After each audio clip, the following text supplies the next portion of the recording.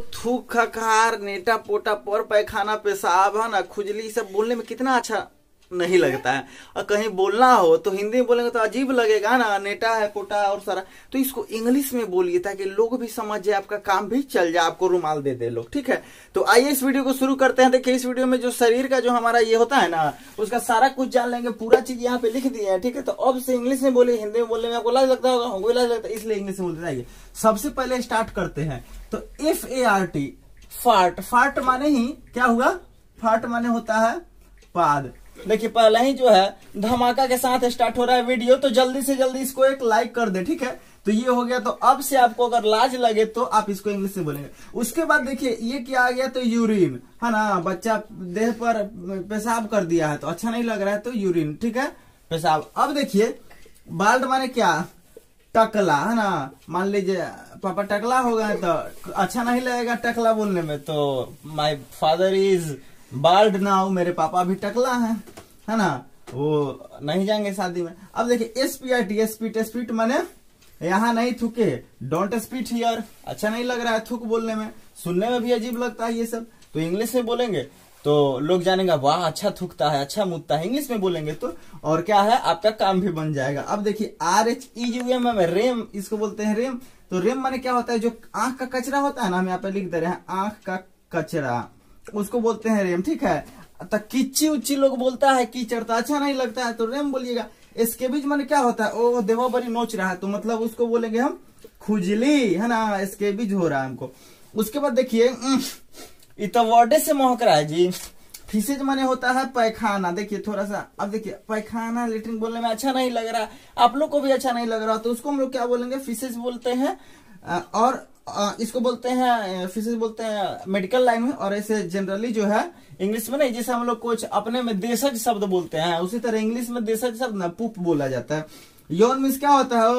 उबासी लेना, है ना? उबासी लेना, या जमहाई नहीं बोलते हैं। जमहाई। उसी को बोलते हैं अब देखिए। बुगर्स बुगर्स माने क्या होता है? नाक से जो नहीं निकलता है, हम लोग क्या बोलते हैं? पोटा बोलते हैं ना? पोटा खखार, चिपचिपा, उसको बोलते हैं बुगर्स ठीक है? अब देखिए स्नीज है। स्नीज माने छींक होता है। छींक, पी पी माने क्या होता है? देखिए यूरिन पेशाब पी माने पेशाब करना, है ना?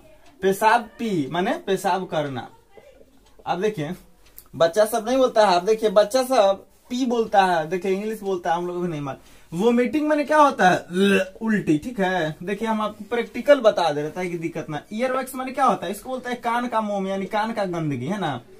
कान, वो मोम जैसा ही होता है, इसलिए ईयर वैक्स बोलते हैं। स्वेट मैंने क्या होता है?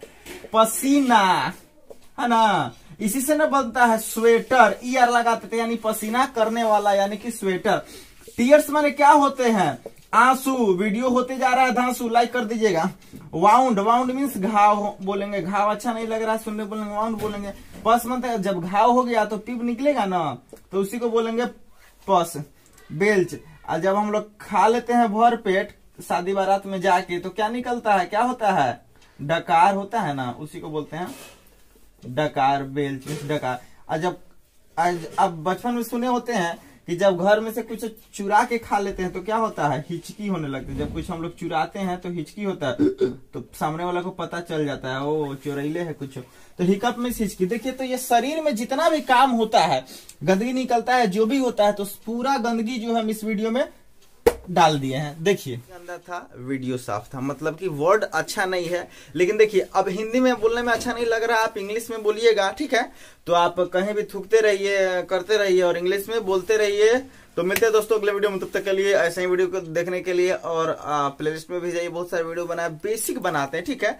तो आप लाइक करें। Thank you